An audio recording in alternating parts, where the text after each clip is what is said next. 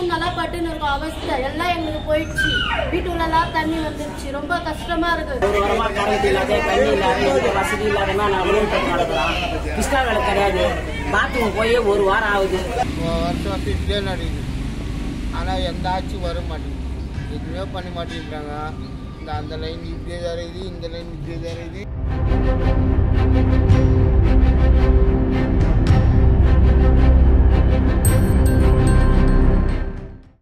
It's been four days since the rains from Cyclone Mikjam stopped, but many areas in North Chennai are still heavily waterlogged.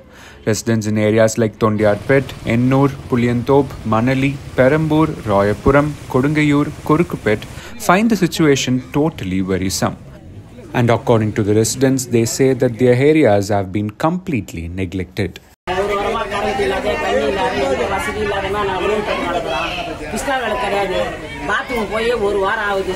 அந்த வீட்டை போய் கெஞ்சிரோம் நாங்கள் எங்களுக்கு எந்த உதவியுமே யாருமே எங்களுக்கு செய்யவோ இல்லை.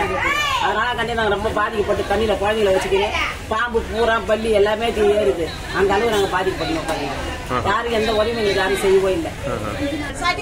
ரெண்டு லட்சத்துக்கு கொஞ்சம் பீஸ் பீஸா இருக்குது. போன வெளியே கட்டி கொடுத்த ஞாயிற்றுக்கிழமை கழுவுந்து ஒரு பூரா எங்க போக முடியும் ஹாஸ்பிட்டல் போக முடியுமா எல்லாம் ஒரு சோறு வைக்கணுமா? அந்த மூணு வீடு நாலு வீடு இது வீடு இதோ இந்த லைன் ஃபுல்லாவே தண்ணி Lakshmi from MGR Nagar shared that for the past four days her husband hasn't been able to go to work and none of the relief items have reached them. பட்டுன்னு இருக்கும் அவஸ்தை. எல்லாம் எங்களுக்கு போயிடுச்சு. வீட்டுக்குள்ளலாம் தண்ணி வந்துருச்சு. ரொம்ப கஷ்டமா இருக்கு.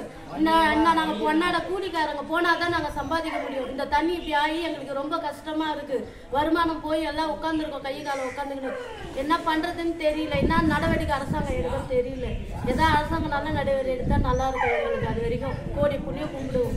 ஜனத்துங்களுக்கு ரொம்ப கஷ்டப்படுறோம். குழந்தை குட்டியை வச்சுக்கிட்டு தெருவில். இந்த தெருவில் எங்கெங்கேயோ போடுறாங்கன்னு இந்த தெருவுக்கு வர மாட்டேங்கிறாங்க. மெயின் சாப்பாடு தான் கேட்குறோம் நாங்கள் யாரும் வந்து ஒண்ணு இதுவரை இன்னாரும் கேட்கல எங்களை. இல்ல ஆ, எப்படி போ எங்க போவோம் நாங்க? எங்க ஸ்கூல் உள்ள போனா அது உள்ள தண்ணி. In Tamilan Nagar, Rani shared a distressing situation involving her eight month pregnant niece. The expectant mother found herself trapped inside her house with water rising up to neck level.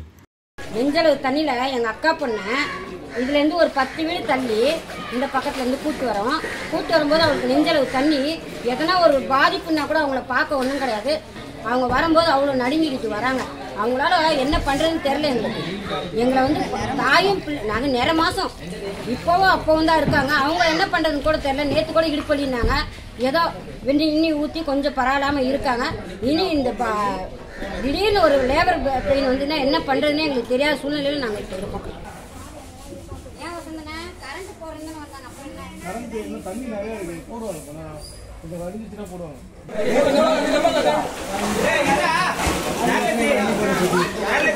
என்ன?